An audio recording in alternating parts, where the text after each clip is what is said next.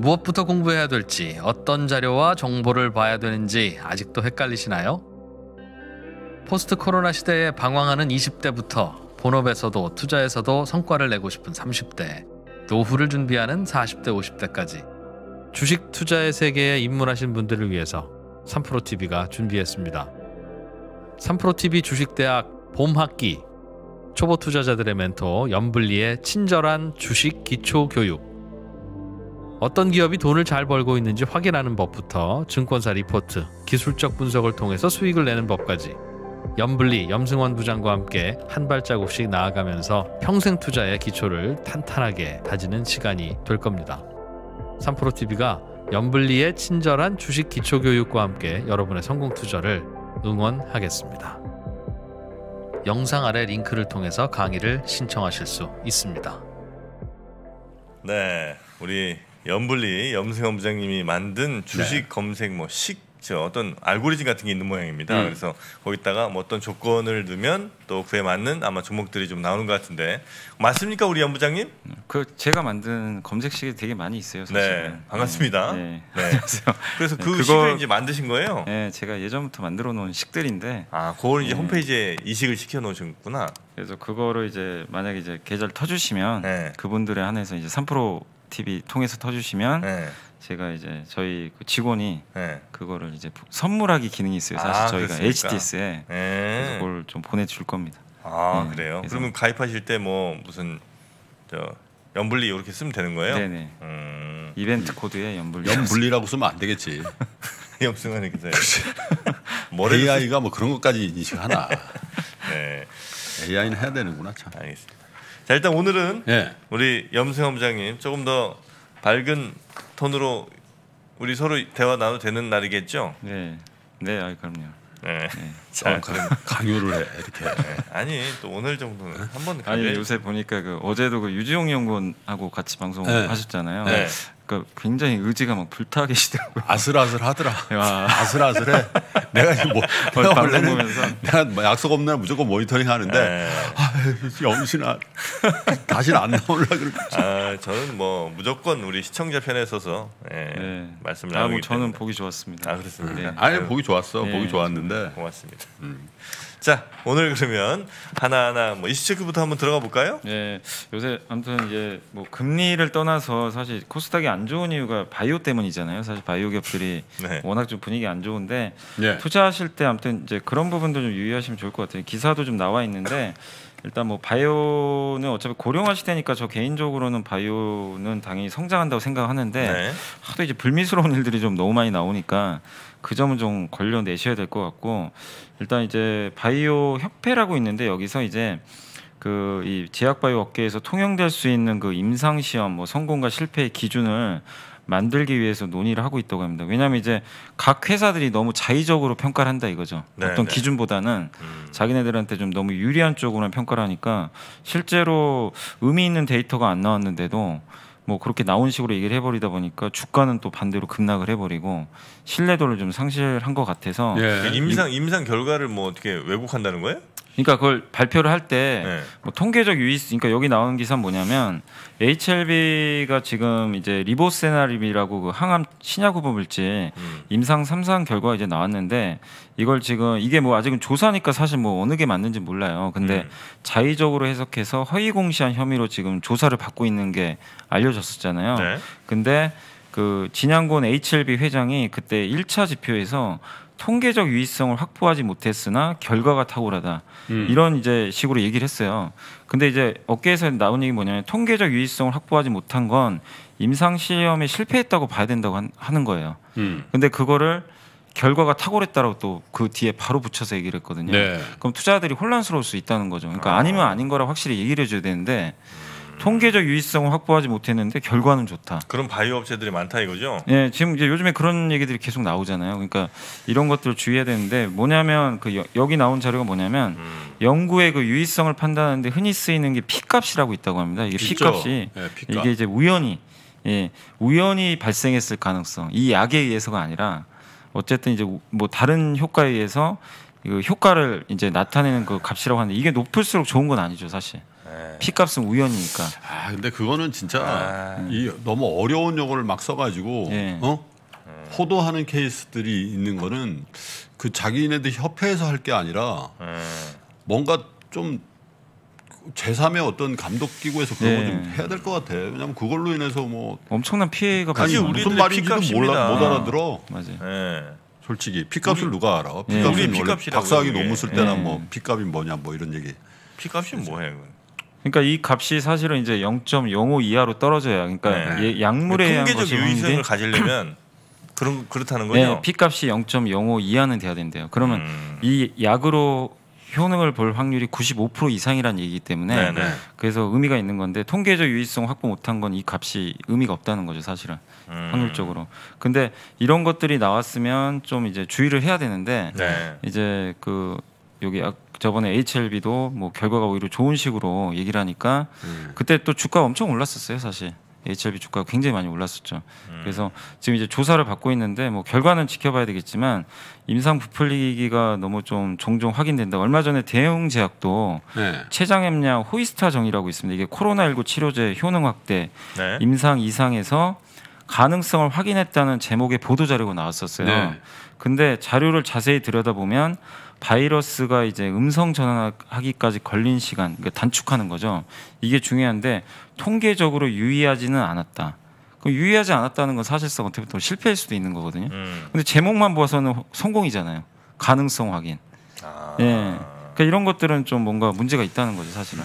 그러니까 이게 왜냐하면 여러분들이 재산이 걸린 문제라서 그렇지. 되게 중요한 이슈거든요. 그러니까 네. 바이오를 뭐 좋아하시는 분들도 계실 거고 또 선천적으로 꺼리신 분도 계시겠지만 명확하게 아니면 아닌 거고 음. 성공했으면 성공했다고 명확하게 발표해야 되는데 그런 것들은 보수주의 원칙에 의해서 예. 통계도 우리가 아니 회계도 보수주의 원칙이 있잖아요. 예. 그런 공시나 발표도 보수주의 원칙의 맞아요. 가이드라인을 맞아요. 해서 예. 에?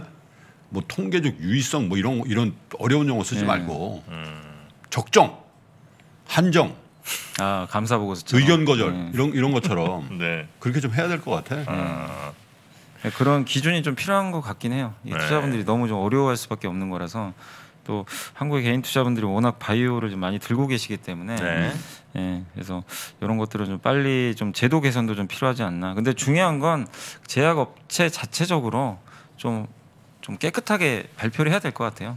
예, 확실하게 결과 실패했으면 인정하고 네 네. 예, 잘했으면 잘했다고 칭찬 받으면 되니까요. 예, 그렇게 생각해 주시면 되겠고. 네. 그다음에 이제 하나만 더 보고서 좀 말씀을 드리면 이제 국내 건설 수주가 좀 되게 잘 나온 것 같더라고요. 하나금융투자 윤승현 연구원님이 쓰신 자료인데 1월달 국내 건설 수주가 114.8조 원, 37%나 네. 증가를 했고 네. 토목하고 이제 주택용 그 주거용 건축이 좀 많이 늘어났다고 합니다.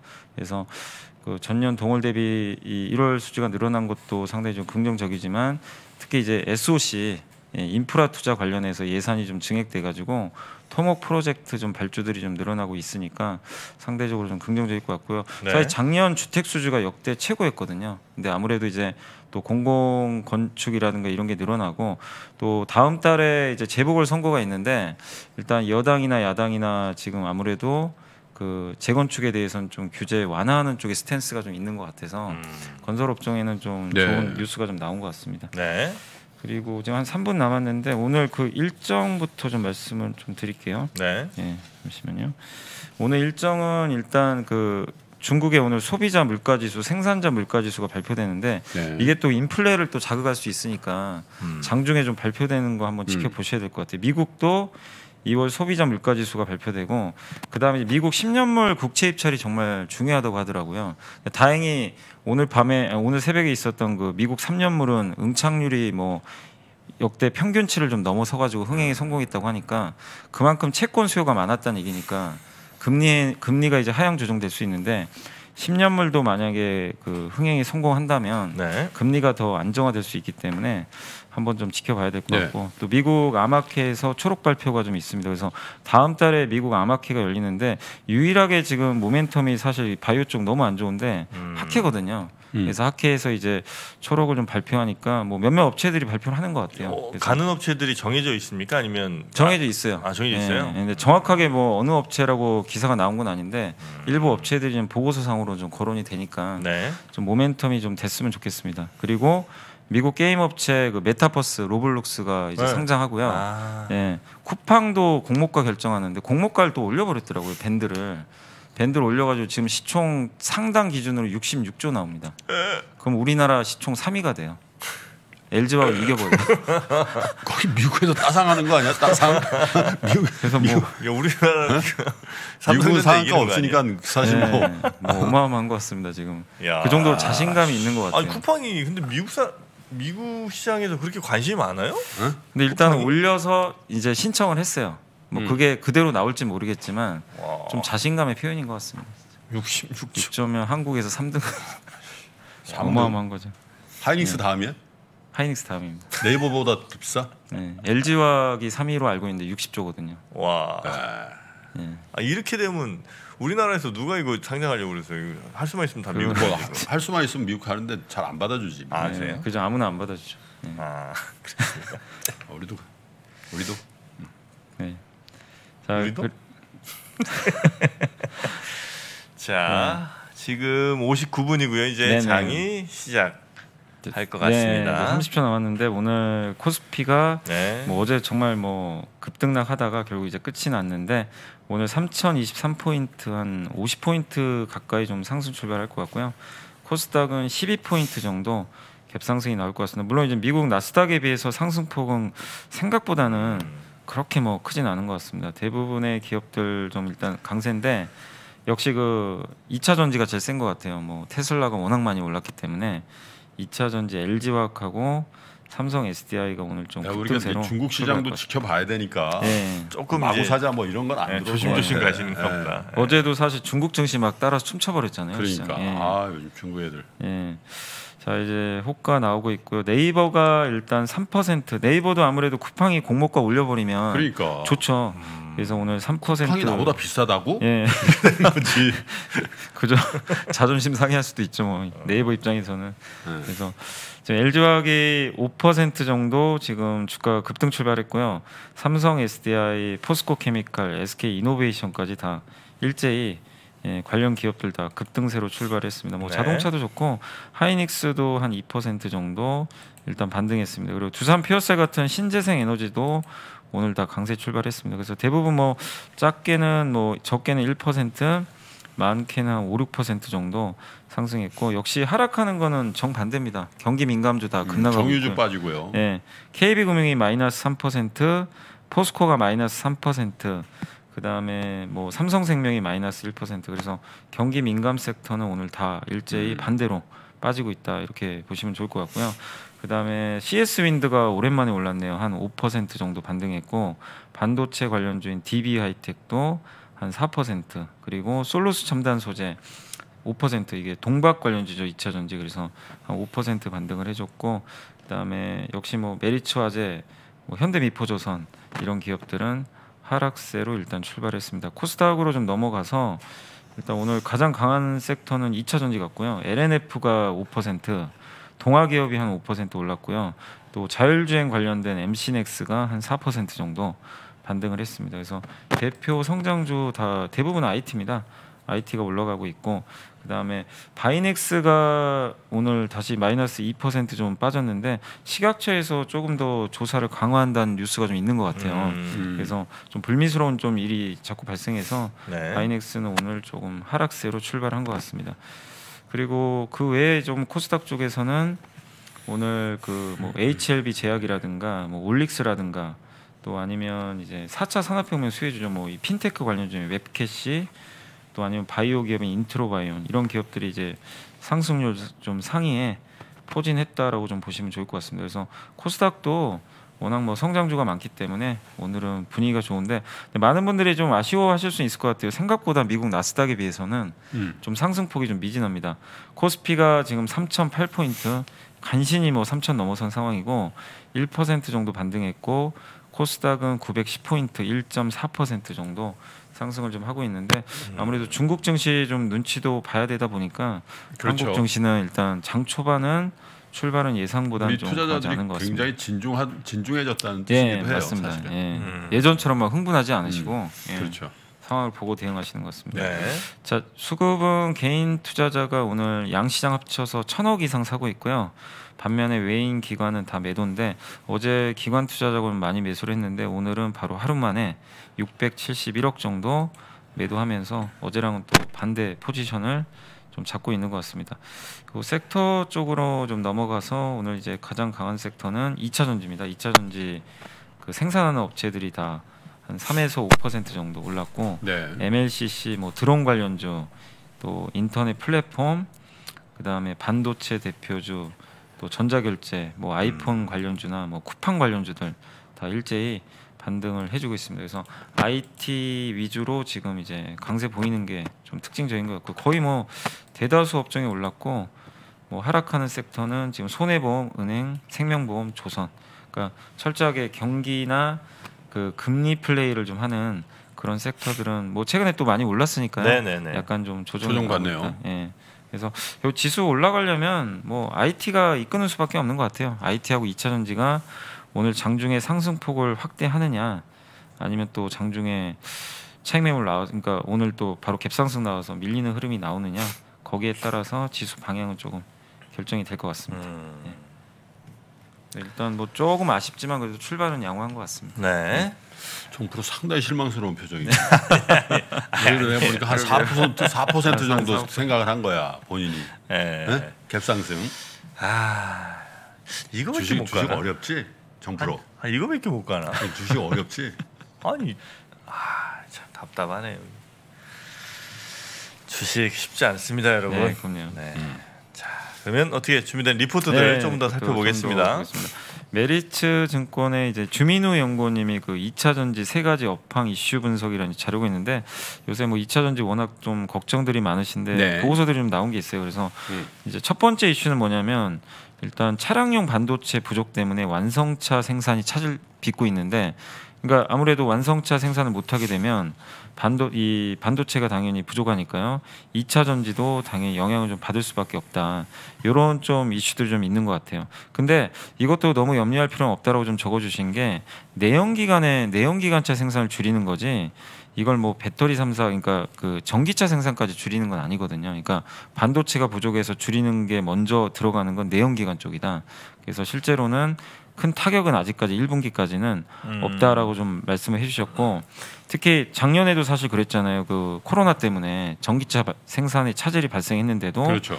2020년 상반기에 배터리 업체들 출하량은 굉장히 좋았거든요. 음. 그래서 이 부분도 또 너무 걱정하지 말자는 좀 의견이고 두 번째가 이제 원통형 배터리 지금 공급이 좀 부족하다고 합니다. 그러니까 원통형 배터리는 테슬라가 지금 자기 차에 지금 들어가 있는 게 원통형 배터리인데 네. 파나소닉하고 LG 에너지 솔루션 그 다음에 이제 그나마 좀 아직 삼성 SDI는 납품을 하고는 하- 하진 않지만 뭐 일단 생산은 하고 있고 근데 이쪽이 최근에 2년 동안 지금 증설이 없었다고 합니다. 네. 근데 수요는 되게 많거든요. 이게 전기차만 들어간 게 아니라 뭐 드릴 같은 이제 전동 공구, 그 다음에 전기차, 이 오토 오토바이 같은 거죠, 바이크, 또 ESS 이런 데서 굉장히 공급이 수요를 지금 못 따라가는 상황이거든요.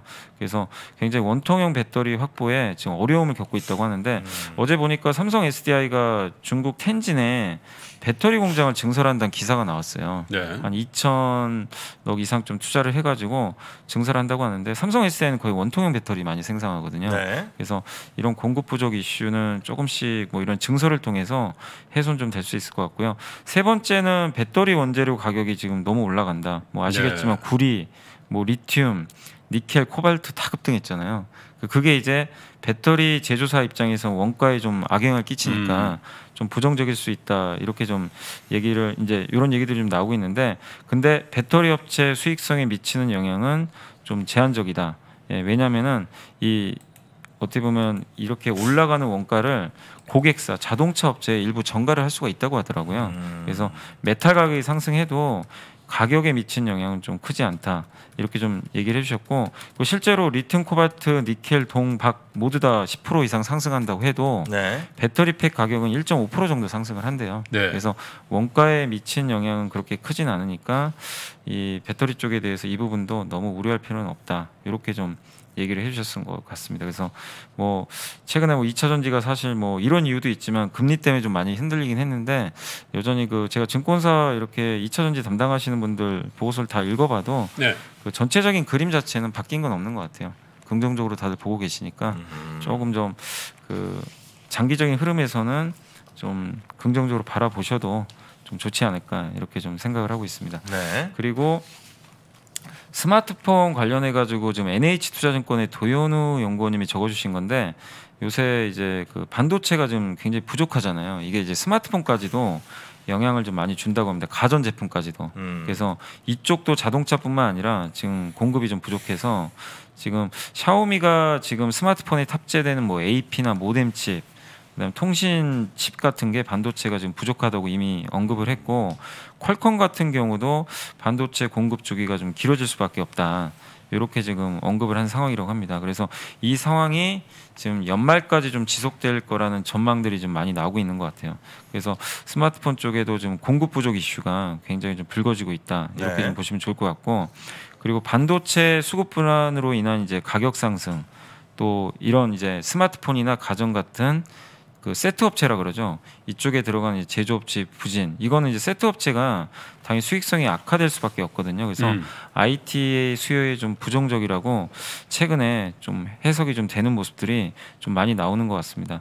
그렇지만 이제 전반적으로 이렇게 됐을 때 반도체 업체 입장에서는 나쁘 그러니까 나쁘진 않은 게 네. 공급 부족 때문에 가격은 어쨌든 올라갈 가능성이 높거든요. 음. 그래서 반도체 세트는 좀 안 좋을 수 있지만 이 공급 부족으로 인해서 반도체 쪽은 좀 좋아질 수 있는 그림이다. 음. 이렇게 좀 보시면 좀 좋을 것 같고 사실 어제도 한번 말씀드렸지만 올해 하반기부터는 뭐 PC나 이런 TV나 가전제품 쪽 수요는 좀 줄어들 수 있다는 얘기들이 조금씩은 나오고 있어요. 네. 근데 거기다가 이런 그 반도체 공급까지 좀 부족해지면 세트 업체들한테는 조금 불리할 수 있다는 그런 리포트들은 최근에 좀 나오고 있으니까 음. 참고를 해주시면 좀 좋을 것 같습니다. 네.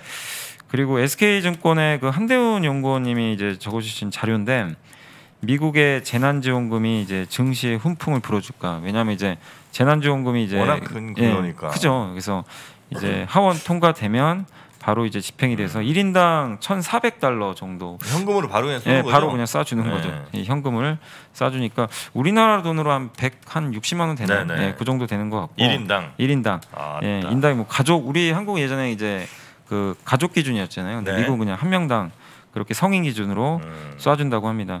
그렇게 되면 이게 주식 시장에 좀 영향을 줄 수 있다라고 좀 하고 있더라고 하더라고요. 작년에 재난지원금이 이미 영향을 줬다고 합니다. 작년 음. 3월에 통과된 미국의 2.2조 달러 부양 패키지에서 네. 현금음 지급을 받았던 계층이 주식을 많이 샀대요. 실제로 음. 작년 미국에서. 네. 그래서 로빈 후드라고, 예, 맞아요. 로빈 후드. 음. 예. 그래서 작년에는 1인당 1,200달러 수표로 지급을 했거든요. 네. 그래서 현금 보조를 받은 250만 명의 계좌를 분석해 보니까 음. 한 주간 그 4월 그 당시 이제 4월 달에 지출이 81% 증가했다는 결과가 나왔는데 지출 중에서 주식 거래에 사용한 금액이 연소득 3.5만에서 음. 7.5만 달러 계층에서 한 주간 네. 무려 90%나 이게 증가를 했다고 합니다. 그래서 그때 당시에 이제 3월 증시 폭락 후에 그 로빈후드 계좌들이 터지면서 음. 어쨌든 증시에도 영향을 줬는데 이번에도 좀 그럴 수 있지 않을까 하는 이제 기대들이 좀 나오고 있는 것 같아요. 특히 젊은 개인 투자들의 매수세를 좀 기대해 볼 만하다. 음. 이런 내용이고 도이치방크 보고서가 있는데 미국의 네. 25세에서 35세 개인 투자자들이 정부 지원금의 50%를 나는 주식에 투자할 것이라고 설문조사에 응답을 했다고 합니다. 아, 그래요. 그러니까 18세에서 24세가 40%, 35에서 40, 54세가 37%가 나는 이 돈으로 주식에 투자하겠다 절반을. 근데 실제로 그렇게 갈지는 모르겠습니다만 모르죠. 그 예. 주식으로 그렇게 가는 게 썩 좋은 건 아닌 거 아니에요? 그러니까 예를 들면 저 현금을 자꾸 저 어디 가게 가서 쓰고 뭐 일을 하고 주는 거 아닙니까? 아니 뭐 사실- 근데 예. 그 사실 지난번에도 가이드라인을 뒀잖아요. 예. 그 선별 지급이 전 국민이 아닌데 예.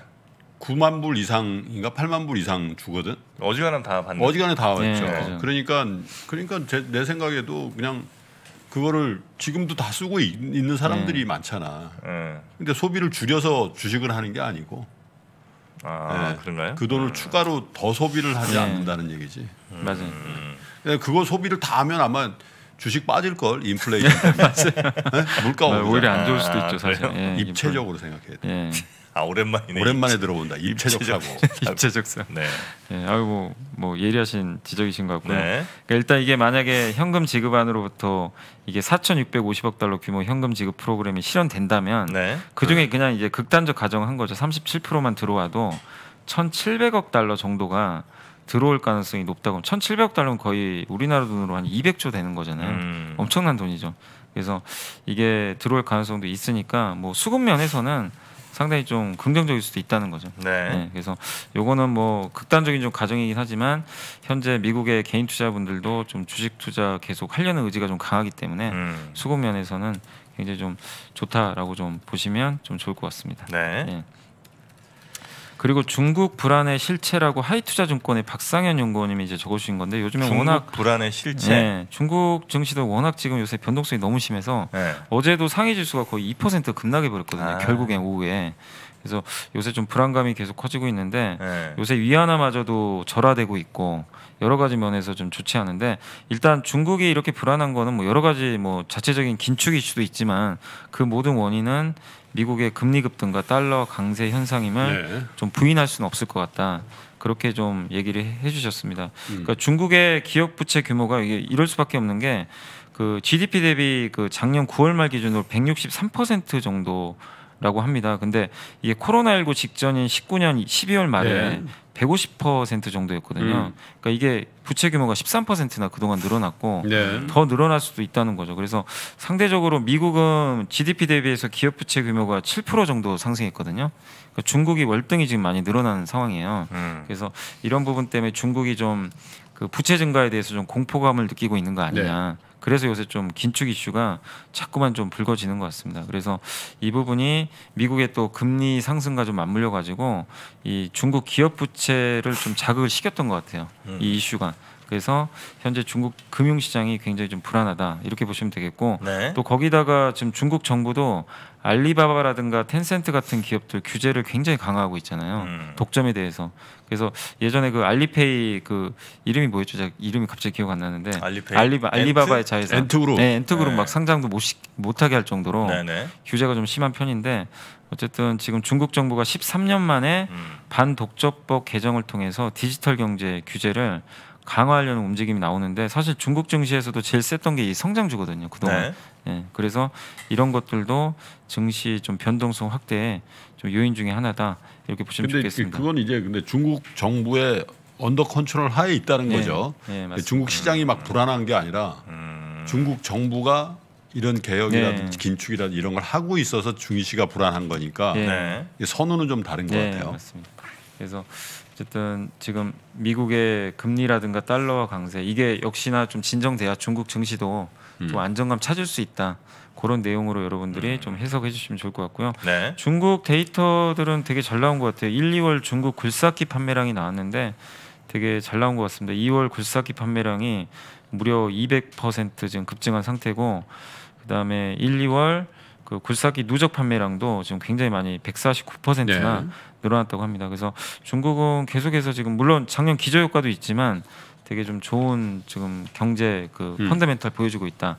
이렇게 보시면 좀 좋을 것 같고요. 음. 그 다음에 아까 속보 나온 거 보니까 네. 보잉 항공기가 그뭐 여러 가지 이슈들이 좀 안 좋은 게 그동안 많았잖아요. 사고도 나고. 그렇죠. 그래서 2019년 11월 이후로는 계속 그 주문량보다 취소하는 양이 되게 많았대요. 주문보다 취소가, 취소가 많아요. 더 많았대요. 무인 주문했다. 항공기? 예, 뭐 이런 그 우리 뭐 옛날에 이항 뭐 이런 예. 거요? 737 맥스 어, 뭐 이런 것들. 아 침새 그런 거? 보잉. 네, 보잉 아, 보잉 맞습니다. 보잉, 보잉. 항공기. 무인 항공기라는. 아, 아, 보잉, 지금 보잉. 지금 아, 보잉. 염부장 얘기가 지금 귀에 안 들어와. 지금 자기 주식 보고 있으니까 자기가 한 5% 오를 줄 알았는데 지금 보합이거든. 아니 아니 그저 어차피 뭐 이렇게 된 네, 거 네, 네. 이제 이런 경우들이 있잖아요. 제 경우는 아닙니다만 어쨌든 관심 종목은 훨씬 많을 거 아닙니까? 네. 관심 종목은 한 50개 있어. 네, 네. 근데 그 중에 다섯 개가 오늘 오늘 같은 날 마이너스인데 그 마이너스인 종목을 다 내가 갖고 있는 종목이에요. 그럼 놀랍지 않습니까? 지금 다섯 개 마이너스라고 현재? 그러면은 아니 근데 네. 그게 좀 말이 안 되는 게 만약에 그렇다면 오늘 같은 날 마이너스면 네. 최근에 성과가 좋았던 기업 그렇지. 마이너스거든요. 그러면 그것도 그동안 아니- 스트레스 아니 아니 정프로 여기서 막 지어내려 그러지 마. 아니야. 그거는 말이 안 돼. 아무리. 정프로라도. 네. 아니 어떻게 오늘 같은 날 다섯 종목인데 다섯 종목 다 마이 그건 아니지. 그건 아니- 아 근데 진짜 놀라운 일이에요. 왜냐면 그. 성장주가 아니에요. 내 종목 얘기해 줘? 근데 어제도 빠졌어? 아니 어제도 어제? 어제 당연히 빠졌죠. 아니, 성장주도 아닌데? 그럼 민간 어? 어 성장주도 아닌데. 와, 진짜 않습니까? 개잡준데. 아니 그게 뭐지? 개잡주. 그거 개잡주지. 개잡주인가 보다. 아니, 솔직히 얘기 안 하려고 했거든. 내가 솔직히 이런 표현까지 안 해. 야, 그건 개잡, 야, 그거는 빨리 갖고 와봐. 진단해서 빨리 와. 잘라내야지, 그건. 진단 키트가 아니 필요하네. 개잡주야. 문제가 있는데요. 그러니까 사실 오늘 민감주를 내가 갖고 있어서 빠지는 거면 아, 그건. 괜찮죠. 예. 그럼 당연히 와, 빠질 수 있는 신기하다. 아니 물론 그 제가 갖고 있는 게 다섯 종목은 아니에요. 근데 응. 어, 떨어진 다섯 종목이 다 갖고 있는 거야. 아, 와, 진짜 너무. 않아? 이거는 그건 지금까지도 빠지다가 오늘도 빠지면 그거는 와 진짜 주식 재밌다. 그거는 어떻게 약간 이럴 수가 있지? 그거 사경인 회계사한테 가봐야 돼, 그거는. 아, 진짜 심각하게 얘기하는 거라니까. 아, 이거 숨길 일이 아니야. 빨리 줘봐봐. 와, 알겠습니다. 예. 저 일단 아, 난 진짜 네, 빨리- 이거는 자, 빨리 방송 좀 정리하시죠. 진단이 좀 필요할 것 같습니다. 네, 아무튼 보잉 항공기가 이제 그동안은 어쨌든 취소가 많았는데 네. 오늘 속보 뜬 거 보니까 처음으로 82대 주문이 들어오고 네. 51대가 취소됐대요. 그러니까 이제 역전됐다는 얘기죠. 음, 아, 그만큼, 취소랑 예. 그 주문이. 근데 예. 어쨌든 주문이 늘어났다는 얘기잖아요. 음. 그만큼 이제 어떻게 보면 이제 항공기 또 수요가 좀 늘어난다는 얘기니까 음. 코로나 19 이후를 좀 대비하고 있는 것 같아요. 이제 네네. 항공기 업체들도 그래서 좀 좋은 뉴스일 수 있다 좀 이렇게 보시면 되겠고 또 어제 뉴스 나왔지만 이마트하고 네이버가 결국 이제 지분 투자하기로 결정을 한 것 같더라고요. 뭐 음. 물론 단독 보도긴 한데 1,500억에서 2,500억 규모로 서로 이제 지분 투자 들어갈 것 같고 쓱닷컴 거래액이 지금 작년에 36% 늘어나서 3조 9천억인데 네. 올해 한 4.9조 원 정도 이제 저희 당사에 오리나 연구원님이 코멘트를 해주셨는데 네. 좀 늘어날 것 같긴 한데 오늘 어쨌든 네이버나 이마트 입장에서 서로 윈윈할 수 있는 거죠. 사실 이마트는 온라인 쪽이 좀 약하고 음. 그 다음에 네이버는 물류가 없으니까 음. 이 물류 창고가 없잖아요, 사실은. 네네네. 근데 이마트는 물류 창고가 엄청 많기 때문에 이런 면에서 상당히 좋은 좀 시너지 효과 네. 발휘할 수 있다 그런 내용이니까 참고하시면 되겠고 그다음 마지막으로 그 OECD 어제 경제 성장률 전망치가 나왔는데 한국이 3개월 전보다 0.5% 정도 상향 조정됐습니다. 그래서 네. 3.3% 올해 성장할 걸로 보이고 참고로 한국은행은 3% 전망을 했어요. 그래서 OECD가 좀 더 낙관적으로 음. 보고 있는 것 같고 전 세계 전망률은 4.2%에서 5.6%로 상향 음. 조정했습니다. 그래서 실제로 경기 회복 속도가 좀 생각보다는 좀 빠르게 좀 나오고 있는 것 같습니다. 네. 이상입니다. 자 오늘 우리 어, 이베스트 투자증권의 아니, 부장님. 연, 연 부장 그 방송 끝나고 좀 기다리세요. 네. 좀 종목 좀. 나는 심각해. 왜냐하면 나는 지금 테마에 성장주 갖고 있기 때문에 나는 심각 심각하다니까 동생인데 성장주 갖고 있으니까 네. 지금 계속 빠졌겠지.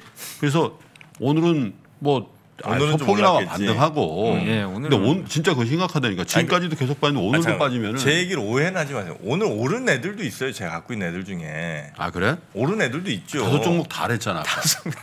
아 근데 그러니까 내 그러니까 제가 이쪽에 관심 종목 갖고 있는 애들 중에 아, 응. 빠진 애들 넷인가 다섯이가 응? 내가 다 갖고 있는 아니. 왜냐면 진짜 이 지금이 3월 중순이기 때문에 네. 그거 잘 골라야 된다니까 진짜 음. 좀 있으면은 네, 맞아요, 맞아요. 뉴스 나온다니까 다음 주부터 나올 시즌이에요. 다음 주부터 그러니까 점점 지금 감사 보고서 지금, 나오고 지금 내- 내가 이렇게 쭉 내 모니터에도 퍼런 게 있어요. 그 예를 들면 퍼런 거 뭐 불러줄까? 롯데 쇼핑 퍼렇지 지금까지 좋았잖아. 네, 네. 그죠? 예를 들면 이런 이런 것들이 있는데 그런 게 아닌 종목 중에서 오늘도 빠지고 일주일 내내 빠졌다. 네. 그거는 진짜 조심해야 돼. 뭔가 알람이야. 그거. 네. 아, 세상에 네. 잡초란 없습니다. 다 이름들이 있어요. 제잡주라고 부르지 말아 주시기 바랍니다. 아 이건 내가 미안한데. 아, 내가 이제 뚠뚠 같은 거 하다 보니까 그래 약간 뭐 용어가 그래요. 근데 갖고 와봐 빨리 오픈해. 네, 일단 이건 뭐 일단 우리 여러분께 이렇게 심력 끼쳐드릴 일은 아니기 때문에 네. 방송 좀 마무리하고요. 네, 그렇게 가겠습니다. 오늘 그러니까 저 같은 사람들이 우리 김프로님한테 상담할 수가 있는 거 아닙니까? 김프로의 상담소. 그렇죠. 네. 그 김프로 상담소. 김포에 내가 상담하는 건데 연부장이나 뭐 박병창 부장 이런 분이 나오지. 네네. 그래서 이 전문가분들과 함께 어, 위로받을 수 있는 시간 김프로의 3프로 상담소. 음. 요거 어, 사연 많이 보내주시기 바랍니다. 아니, 카운셀 좀 많이 보, 보내주세요. 네, 골뱅이 어, 이브로드캐스팅.co.kr이죠. 그렇죠. 네, 거기로 아 그래서 이메일. 이메일. 좀 바꿔야 되겠다. 이메일이 너무 어렵다. 3%닷컴 하면 될 텐데. 그러니까요. 아 그때는 3%가 없었잖아. 아 맞아요, 맞아요. 만들 때만 해도 네 그렇게 어, 많이 좀 상담 보내주시면 여러분 또 선물도 드리고 하니까요. 네, 많이 상담해 주시기 바라겠습니다. 그리고 그 아니 이제 제가 그 강의하는 거 있잖아요. 네, 네. 이제 그 이제 저희 이제 채팅 그 방을 만들어 가지고 음. 질문들을 많이 해주셨는데 제가 지난 주말에는 몇 개 달아드렸어요. 근데 음. 제가 주중에는 시간 되면 해드리는데 음. 주중에 좀 바빠서 늦게 대답할 아, 수 있으니까 바, 바빠도 하셔야 돼요. 네. 그 되도록이면 어쨌든 네. 주말까지는 꼭 해드릴게요. 3% 늦어도. 3%를 제외하고 방송을 좀 줄이시고 네? 방송을 줄이시고 답변을 많이 달아주세요. 아 정말 워낙 바쁘시니까 요즘에. 예. 너무 바쁘죠. 예, 그뭐 연부장님이 정말 요즘 거의 뭐 홍길동 수준입니다. 동해 번쩍 서해 번쩍. 예, 또 우리 어, 고객분들도 만나셔야 되니까 그죠. 네네. 네, 정말 바쁘신데 그럼에도 아무튼 불구하고 그 제가 어쨌든 책임지고 답변은 다 해드리니까 네, 조금 네. 늦더라도 좀 양해는 해주셨으면 네. 좋겠습니다. 네, 자 우리 연부장님과 어, 장우석 본부장의 그 답변단은 답변권 그것도 꼭 놓치지 마시고 많이들 활용하시기 바라겠습니다. 자 오늘 함께해 주신 어, 이베스트 투자증권의 염승환 부장님 대단히 고맙습니다. 감사합니다. 네. 매달 월급처럼 따박따박 배당을 받는 ETF 그리고 1년 사이에 10배가 오른 테슬라 미국 시장에 상장을 준비하는 쿠팡까지 소식은 많이 들리지만 미국 주식 투자를 시작하기에 아직은 어색하신가요? 포스트 코로나 시대에 방황하는 20대부터 본업에서도 투자에서도 성과를 내고 싶은 30대 노후를 준비하는 40대 50대까지 미국 주식의 세계에 입문하신 분들을 위해서 3프로TV가 준비했습니다. 3프로TV 주식대학 봄학기. 미국 주식에 미치다 장우석과 이항영의 미국 주식 완전 정복. 미국 시장의 제도, 특징, 세금부터 기업의 가치 분석, 포트폴리오 유망 종목까지. 장우석 본부장, 이항영 대표와 함께 한 발자국씩 나아가면서 평생 투자의 기초를 탄탄하게 다지는 시간이 될 겁니다. 3프로TV가 미주미 미국 주식 완전 정보 클래스와 함께 여러분의 성공 투자를 응원합니다. 영상 아래 링크를 통해서 강의를 신청하실 수 있습니다.